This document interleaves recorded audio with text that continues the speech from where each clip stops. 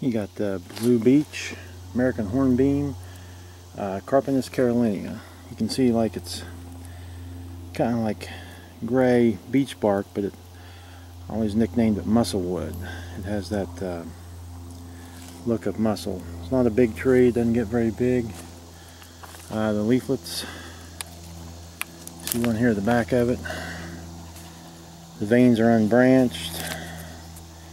Uh, over here it's rounded at the bottom. It's the leaves are toothed. Uh, has opposite branching. Um, nicknamed ironwood. It's a real tough wood. As you can see, got that muscle look of it. Here's another example of a little bit bigger. It's got that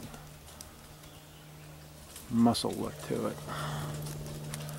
And uh, even the thin bark is the same color.